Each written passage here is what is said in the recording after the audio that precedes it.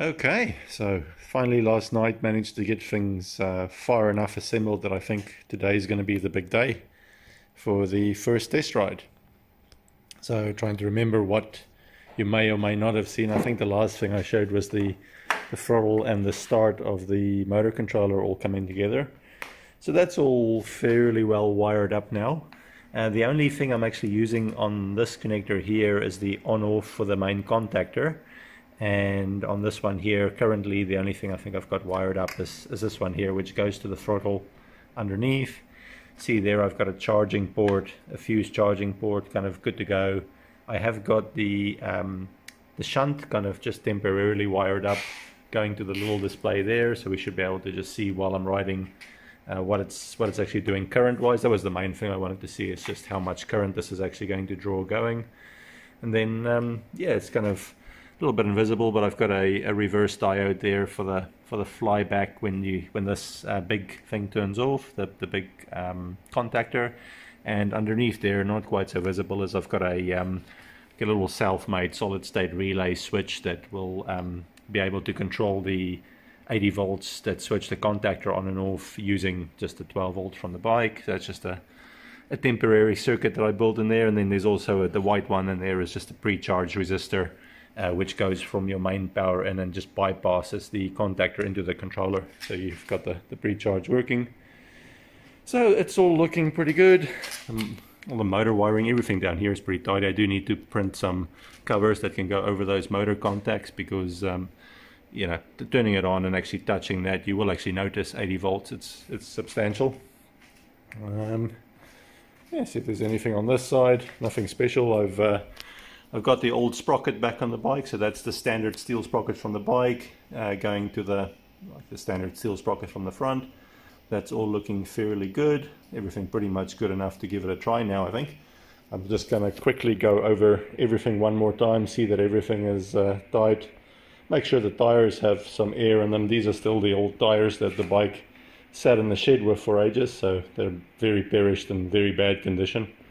So as you can see there, so definitely gonna replace them. Uh, but yeah, so if we look here, ignition on, uh, nothing happens at the moment. Um, switch the main, uh, the engine run stops, and now we've got uh, life happening here in the controller. And then very unexcitedly, if I use this hand to change the throttle, you get this thing working. So nothing super exciting. Uh, just like that. I haven't got the regen braking wired up yet. That's the, the relay for that uh, from the old system. That's going to wire into this connector here. Not too fussed about the regen braking right now. I know that's generally going to work. But uh, yeah, let's get uh, get down the driveway and go give it a try. See what kind of current it's going to draw. One, two, three.